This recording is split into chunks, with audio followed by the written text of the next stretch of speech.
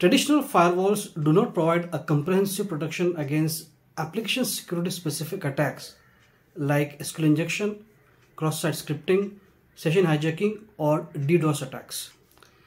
These attacks are primarily targeted at the vulnerabilities in the web applications.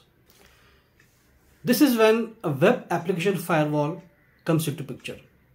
Web application firewall or WAF as popularly known as works at the layer 7 and tracks web traffic and to, to provide protection against these web application vulnerabilities. Hello and welcome to Information Security Governance Risk and Compliance. My name is Salvadore and today we will review Web Application or WAF Firewall. Let's get started. Point number one, configurations. Ensure that uh, the organization has integrated all the critical and public facing applications as well as APIs in the WAF. Check and verify that the WAF is configured in blocking mode.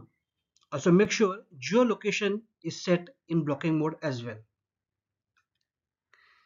Check that the WAF has built-in protection for common threats such as OWASP top 10 and OWASP API security top 10. Alternatively, ensure that rules are configured to cover OWASP top 10 application vulnerabilities, particularly cross-site scripting, SQL injection, session hijacking, etc. Check and verify that advanced malware protection policy is enabled and the latest signatures are updated. Make sure signature updates are kept on auto download mode. Point number two, WAF security. Check and verify that the hardware device is updated with latest firmware and security patches are installed. Make sure that the WAF appliance is not end of life or end of service. In many cases where patching vulnerabilities becomes difficult, ensure the WAF can perform a virtual patching to block exploits attempts on known vulnerabilities. Point number three, logs and alerts.